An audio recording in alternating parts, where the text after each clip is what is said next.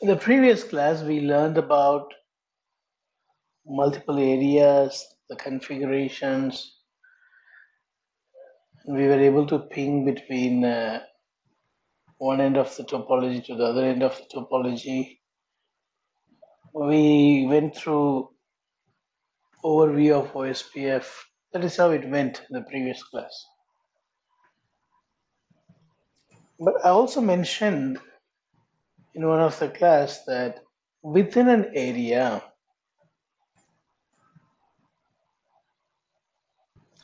within an area, you can expect similar topology. We call it as OSPF database. Within an area, we will have identical map.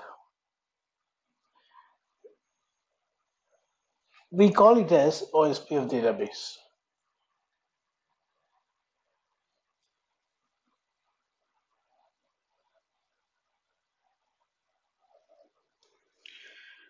OSPF database, the identical database. But don't expect throughout the autonomous system. Here we don't have any number to identify an autonomous system. As I said earlier, area 0 surrounded by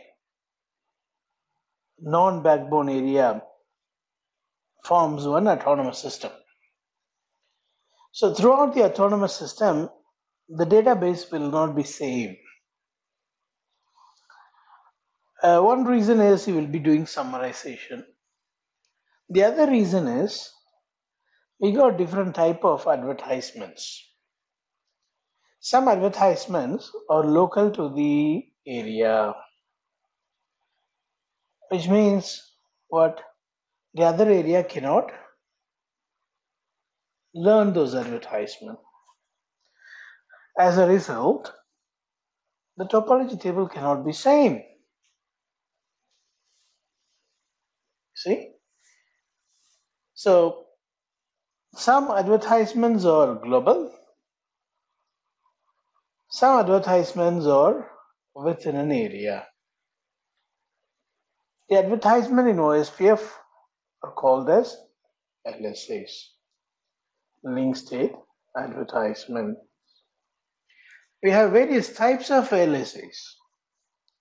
We will be going in depth in coming days. So, as I said earlier, some LSAs are local to area, some are global to all areas. All those that are global will be seen identical in the entire autonomous system, but the rest are local to the area.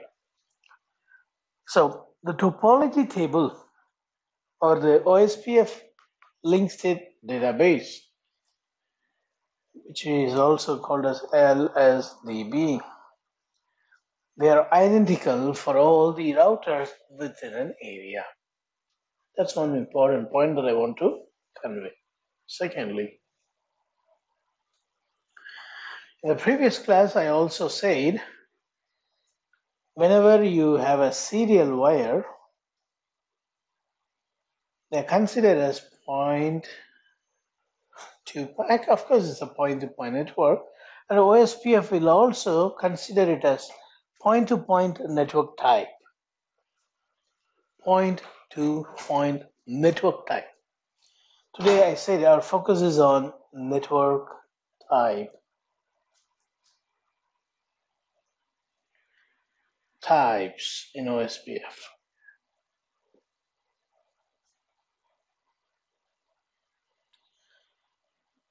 Point to point network type. If you simply have a serial wire, it is going to be point to point. When we have multiple routers connected through a switch, you cannot connect through a serial wire. Have you ever seen any serial ports on a switch? No. If there is a switch with serial port, then it cannot be a serial. Correct. Serial is one connecting to another, not many.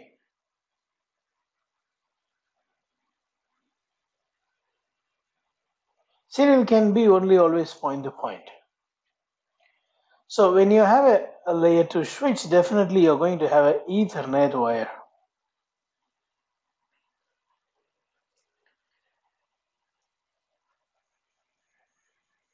This is point to point and this is multi-point.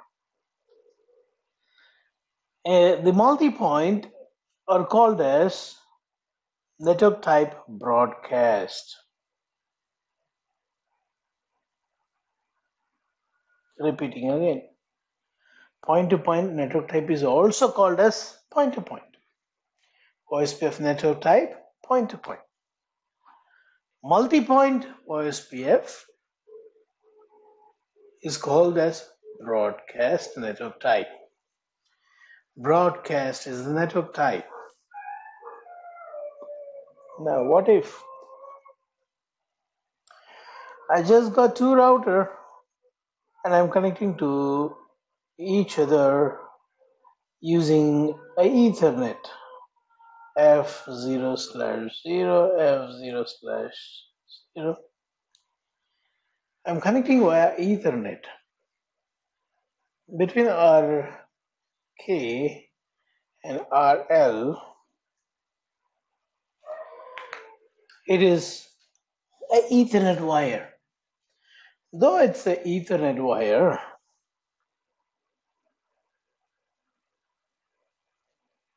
it is looking like a point to point. Why? Because we got only two routers. We don't have any switch. But you know OSPF will not accept it as a point to point.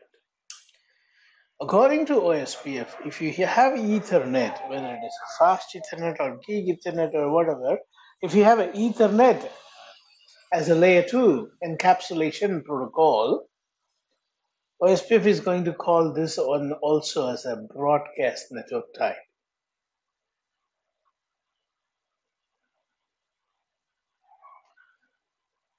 So you got point to point network type broadcast network type. These two are more widely seen. There is also one more called NBMA network type, in which there are five different NBMA types, modes, which we will focus later. Let us finish what we have seen so far in depth. There are point to point and broadcast. In what way they are different? Why I have to? Why should I learn these network types? In order to in order to know the difference, you need to learn this. And you when you know the difference, you can make some difference other than the default by tuning it. For example, for us. I have selected Rouge. Am I right? French.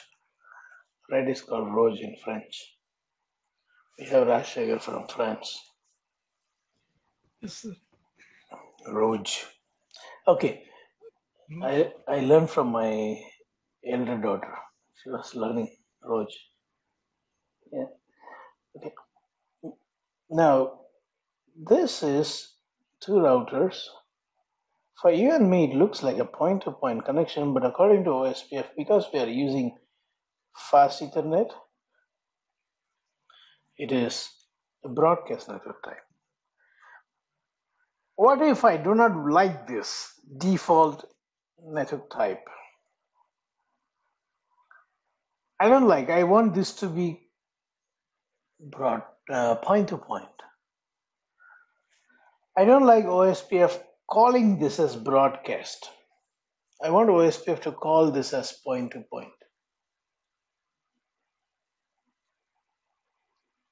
I want OSPF to see this link as a point-to-point link other than uh, instead of broadcast. Why? Why it is so important? In point-to-point, only one multicast address is involved. If it is broadcast,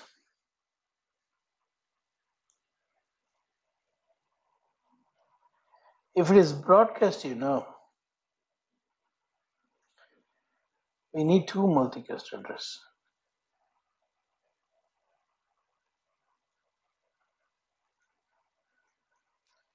and 6.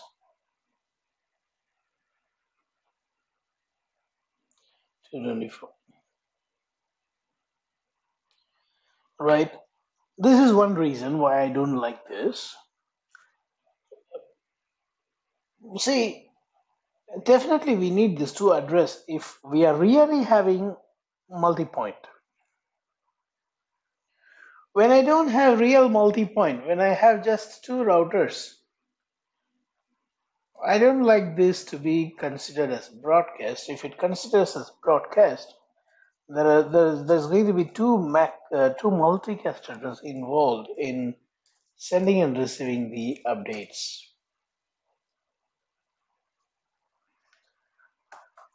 I want this to be a point to point.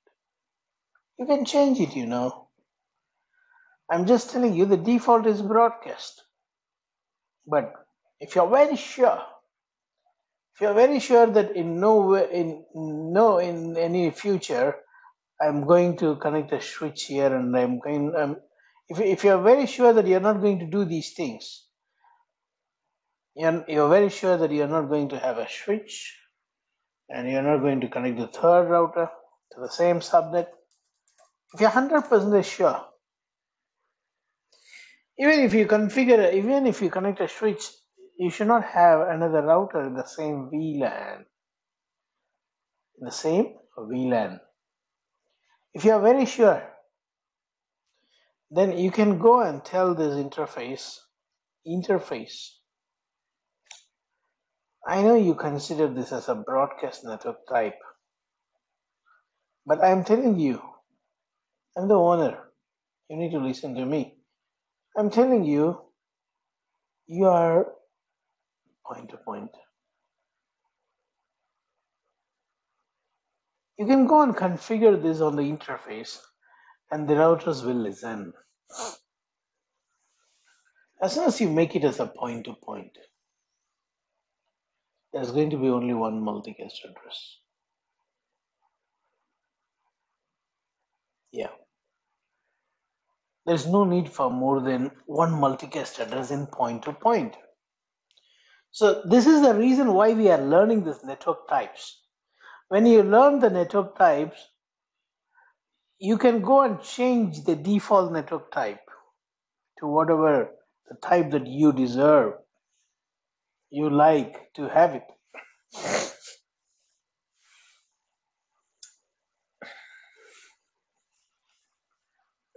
Now, why it takes more than one multicast if it is broadcast. Why it takes more than one multicast address if, uh, if the network type is broadcast. The reason is whenever the network type is broadcast, there is going to be a designated router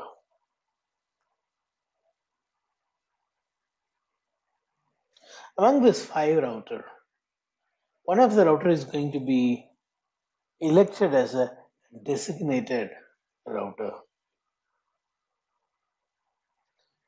Designated router. The chosen one.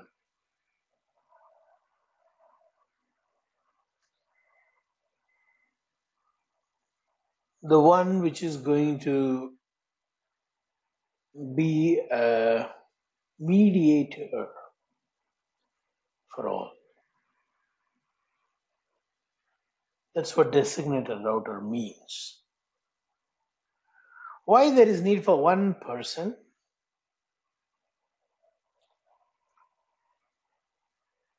Why? When there is a project, see, uh, if, it, if God willing, the entire Congo Police Department will be trained by me soon in networking. So when I get this project, what I do?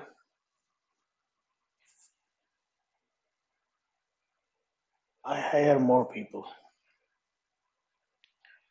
I give them different different responsibility.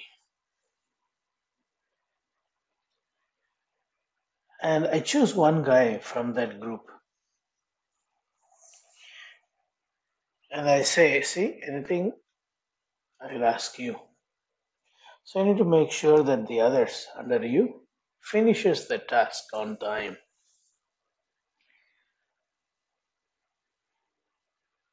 So everyone will report to that guy when they finish their task. They'll report. And if there is any service chain needed, that guy will be doing that. What is service chain? When Sheikh says, this particular module, you know, uh, if you can give to Mr. Gaurav, he will he will be the right person. Then what I do, fine, no problem, Sheikh. I'll speak to Mr. Gaurav. So I convey the things what Mr. Sheikh told to me to Mr. Gaurav, and uh, he says, okay, fine, I'll take care of the Sheikh's uh, module. Then uh, can you please ask Sheikh to do my module in exchange, which Sheikh can do very well. Hmm, no problem. So as a mediator, as a designated router, I, I act. So Sheikh and the Gaurav, they can't talk each other because the project was assigned to them by me. So whenever they need some change, they come to me. And I be the mediator between them to exchange the information between them. Likewise. Likewise, out of this five router, one router is going to be the designated router. And to this designated router, everyone will report. If this has got an update, if router A has got some update to send, it won't send to B, C, D. It won't send it to all of them. A will send it to only alpha, Mr. DR. Now the alpha will take the update from A, synchronize its own database, and then it will also distribute the updates down to B, C, and D. So B, C, and D learns the updates given by A via the designated router D, sorry, alpha, Why via the designated router alpha. Why do we need to have this? Otherwise, there will be confusion. Otherwise, there will be confusion, duplication.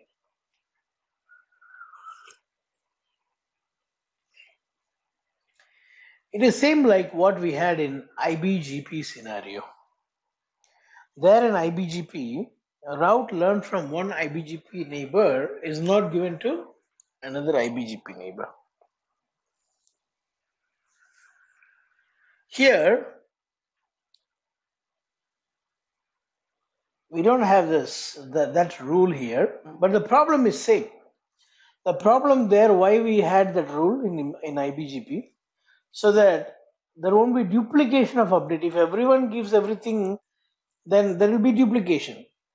A will give to everyone, and C will think poor D may not know it, so C will give it, which already A has given, and for D it is going to be a duplicate. To avoid this unnecessary flooding of uh, unnecessary updates, duplication, we need to elect one leader, Mr. Designated Router, to which all these routers will send the update whenever there is an update.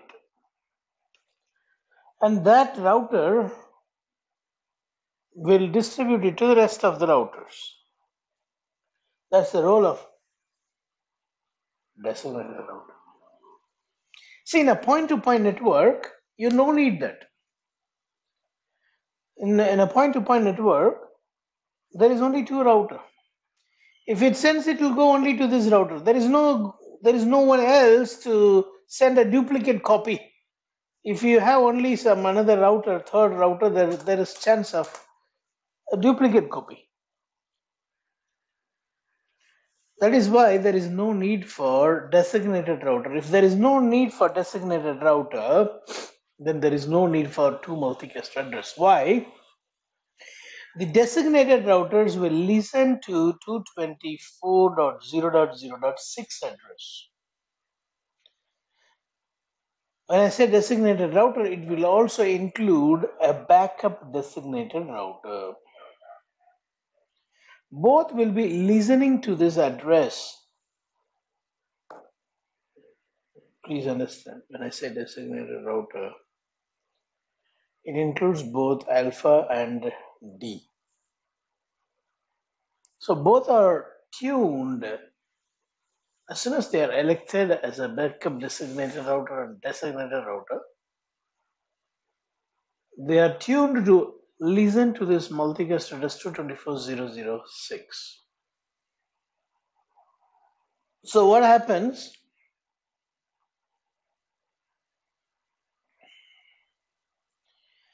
These routers A, B, and C, whenever there is an update, they will send it to only 224006. Why? Because all other routers, all other, see that's the name they have given, other, designated other.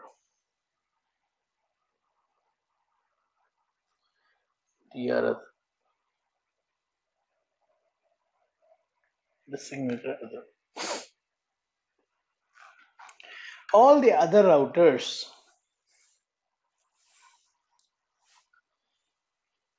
all the other routers will be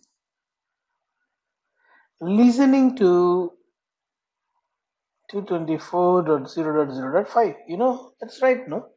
By default ospf will be listening to 224.0.0.5 so if a sends an update to 224.0.0.5 it will go to everyone that won't be good to avoid that there is a second address 224.0.0.6 given to DR and BDR. You and me no need to worry about it, my friends. As soon as the DR BDR is selected, they will own this address. Dot six. 224.006 will be owned by Alpha and D.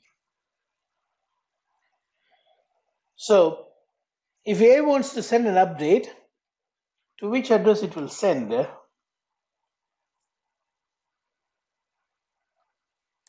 maroon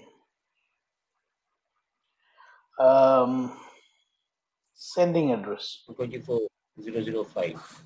no sending address Sending it.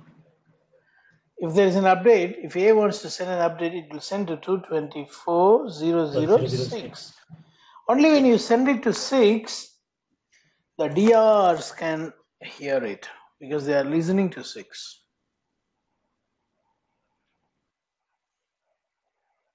So DRs now learn it.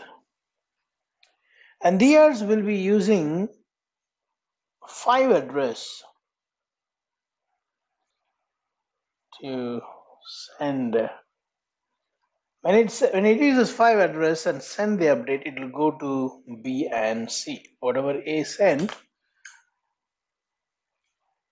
it was already reflecting in DR and BDR. Now it is also reflecting in B and C, which is DR other. So we have learned the purpose of DR and BDR.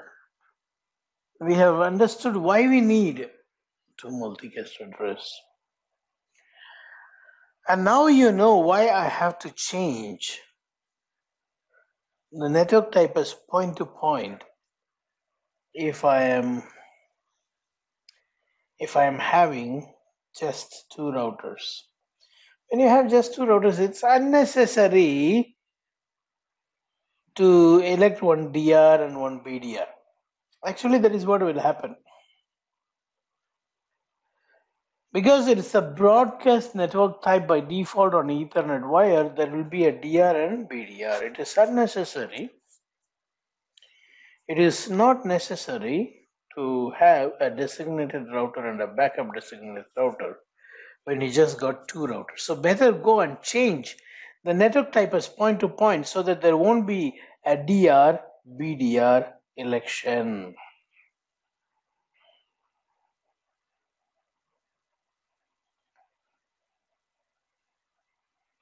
In point to point, there is no DR BDR election.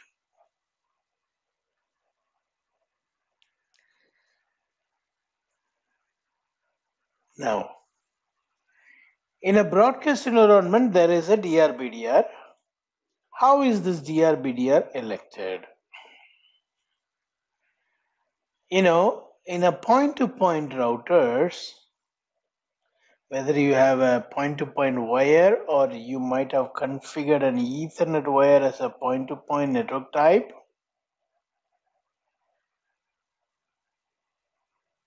So Ethernet we can draw like this straight and uh, serial wire we always uh, draw a zigzag uh, line. In any way, it should be a point to point. If it is a point to point,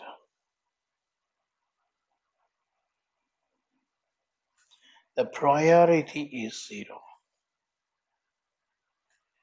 The OSPF interface priority is zero. Zero. What does it mean? It means that no DR BDR election.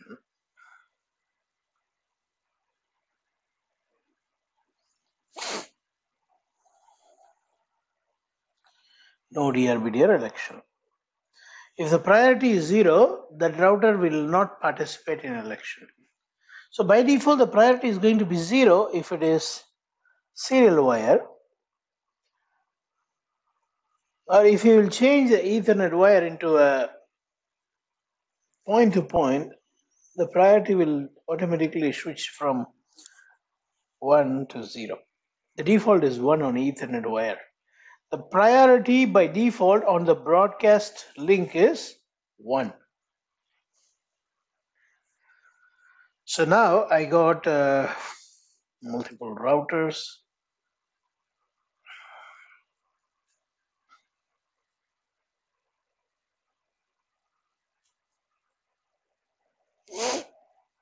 I got many routers. R one, two, three, four, five, and six. The default priority on all the port is one. If it is, broadcast.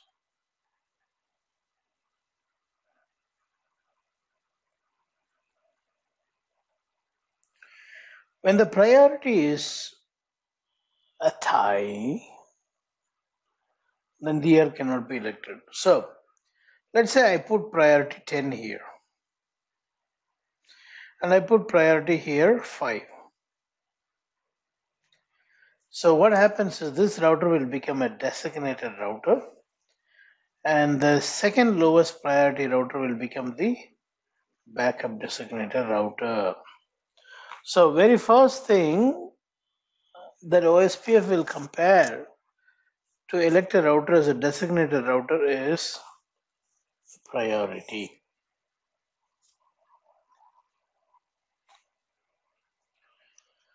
Now, what if the priority is a tie? What is this tie in the priority?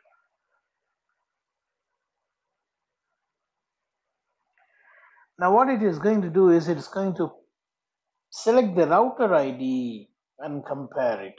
I was talking to you how the router ID is selected. So let's say router 1 has got router ID 1.1.1.1. Likewise, router 2 will have 2.2.2.2, 5 will have 5.5.5.5, 6 will have 6.6.6.6. So they are all now going to send hello packet. In the hello packet, they compare the router IDs. The loopback interface address is taken as the router ID. So they all compare the router ID and router 6 says, Ah, I'm the winner. You know why? I'm having bigger router ID than all of you. Actually, you know, that is not the story. First, what router 6 will say, Hey, I'm the BDR. Then, there is no one now claiming DR. So router 6 will, after saying I am DR, router 6 will wait approximately around 10 seconds. And then it will say, okay, since no one is DR, I am promoting myself as DR. So what I'm going to say is,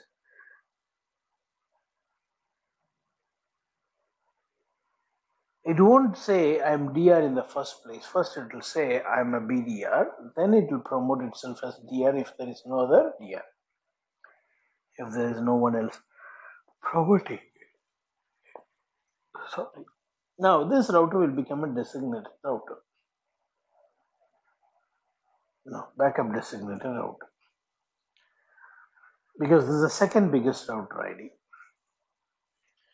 So this election process will get over in maximum of 40 seconds maximum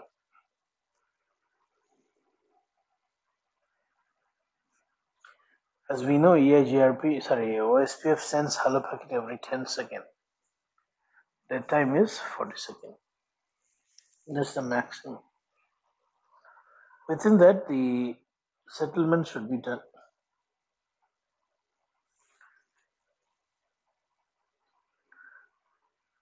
So we have seen two network types in OSPF. One is point to point, another one is multi point. Multi points are called as broadcast. You can go and change this default network type if you want, if you want, if you wish. In productions, you may see people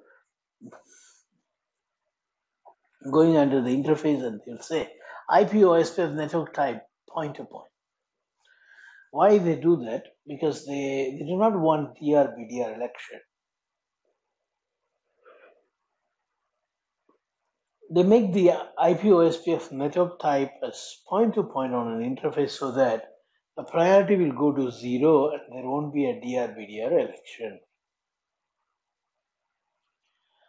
If you just got two router connected back to back via a Ethernet wire, it is unnecessary to have a designated router and backup designated. There's no there's no need for a DRBDR. So we will manually go to the interface and make it as point. Next is multi-point. In multi-point, in order to avoid duplication of LSAs, if, if duplication of LSA is done, then loop will be happening. Not to avoid this, in order to avoid this,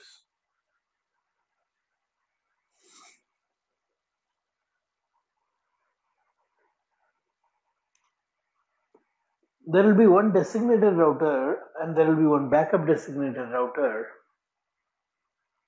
The designated router will respond to all the queries, designated router will take the update and distribute the updates to others, whereas backup designated router will be keep on learning the updates, but it won't respond to any query or distribute the update as long as DR is available. When DR goes down, the backup designated router will promote itself as a designated router. And one of the other router whose router ID is higher or priority should be higher. If not, if the priority is high, then router ID is higher, will be becoming BDR.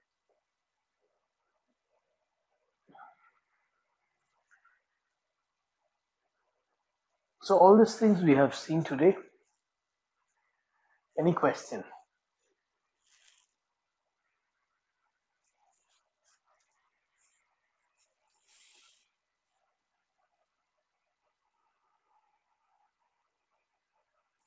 Sir, one question I have. Uh, as you said that first, if the priority is tied, so it will look for the router ID and then first BDR election process will start, right? Hmm. It will happen and then it will wait for the updates from other routers Hmm. in the network and then it will be uh, promoted as a DR. Hmm. So in in normal scenario, if it is a uh, we have set the priority. So every time in let's say I have one switch and I have five routers connected. Hmm. So this process BDR process selection will be, will start first, Yeah. or we have to configure manually. No, no, no, no, no. As soon as you configure OSPF, Mhm. the BDR DR will start. See, So first the BDR election process will happen. yeah, yeah. Now, if all the routers are started, if all the routers started at the same time, then they compare the priority. If priority is a tie, they compare the router ID and the one with the bigger router ID becomes the DR. But if you're configuring, for example, you configure on router 1. What is the router ID of router 1? One one one. 1111. That's it. Now you configure router 1 and then move to router 2. By the time you finish router 2, it is already one minute gone. So what will happen, you know, on router 1? Router 1 cannot wait for a long time.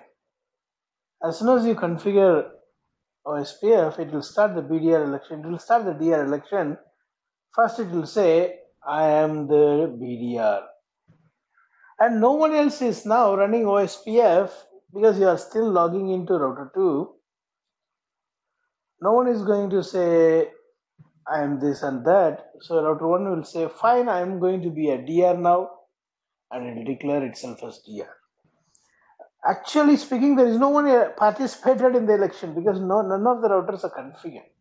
Even though this router has got the lowest prior, lowest router ID, this will be a DR when router 65432 comes up.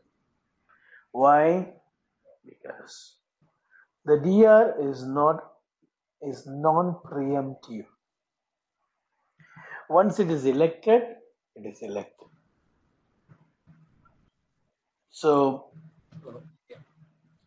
when router 1 goes down, then the BDR, maybe router 6 was a BDR because of the highest router ID. Now the BDR will become a DR, router 6 will become a DR, and 5 will become a BDR. So, one thing you need to remember DR is non preemptive, DR BDR is non preemptive. What else? Okay.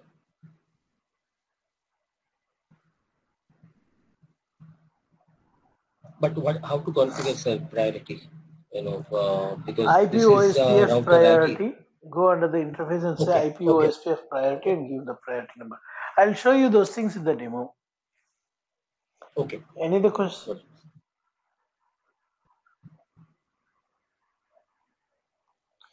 Right. If not,